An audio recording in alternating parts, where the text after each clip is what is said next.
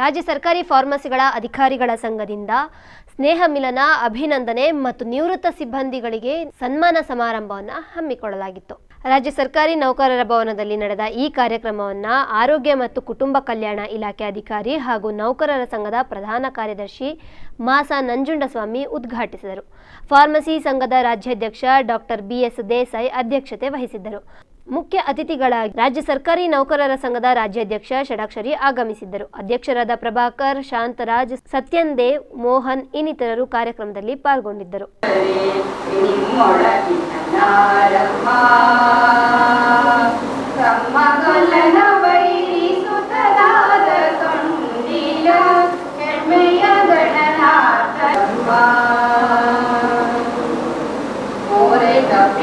ಪಾಲ ತೊಂಡಿಲ ಹೆಮ್ಮೆಯ ಗಣನಾಥ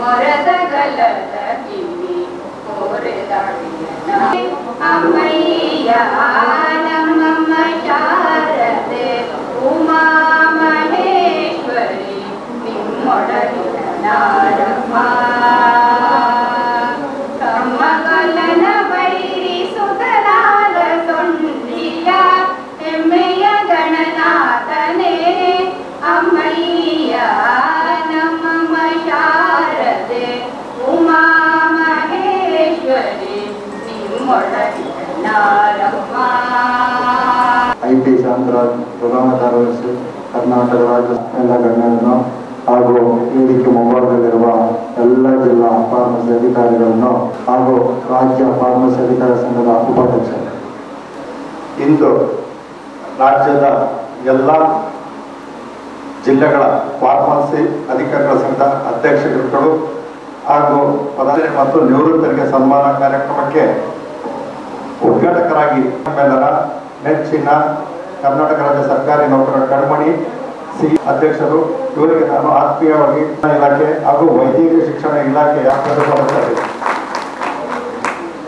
ಸರ್ಕಾರಿ ಫಾರ್ಮಸಿ ಅಧಿಕಾರಿಗಳ ಸಂಘ, ಕರ್ನಾಟಕದ ಅಧ್ಯಕ್ಷರು ಹಾಗೂ ರಾಷ್ಟ್ರಾಧ್ಯಕ್ಷ ರಾಷ್ಟ್ರಾಧ್ಯಕ್ಷರಾದಂಥ ಶ್ರೀ ಬಿಎಸ್ ದೇಸಾಯಿ ಅವರು ಈ ಸಂದರ್ಭದಲ್ಲಿ ನಾನು ಆತ್ಮೀಯವಾಗಿ ಸ್ವಾಗತಿಸ್ತೇನೆ.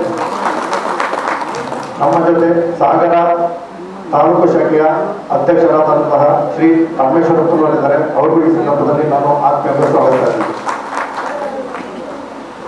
ಶ್ರೀ ಪ್ರಭಾಕರ್, ಜಿಲ್ಲಾ ಫಾರ್ಮಸಿ ಅಧಿಕಾರಿಗಳ ಸಂಘದ ಅಧ್ಯಕ್ಷರು ಅವರು ಈ ಸಂದರ್ಭದಲ್ಲಿ ನಾನು ಆತ್ಮೀಯ ಸ್ವಾಗತಿಸುತ್ತೇನೆ ಹಾಗೂ ಕರ್ನಾಟಕದಾದ್ಯಂತ ಎಲ್ಲ ಜಿಲ್ಲೆಗಳಿಂದಲೂ ಆಗಮಿಸಿರುವಂತಹ ಜಿಲ್ಲಾ ಫಾರ್ಮಸಿ ಅಧಿಕಾರಿಗಳ ಸಂಘದ ಅಧ್ಯಕ್ಷರು ಹಾಗೂ ಪದಾಧಿಕಾರಿಗಳನ್ನು ಈ ಸಂದರ್ಭದಲ್ಲಿ ನಾನು ಆತ್ಮೀಯ ಸ್ವಾಗತಿಸುತ್ತೇನೆ ಅದೇ ರೀತಿ ನಿವೃತ್ತ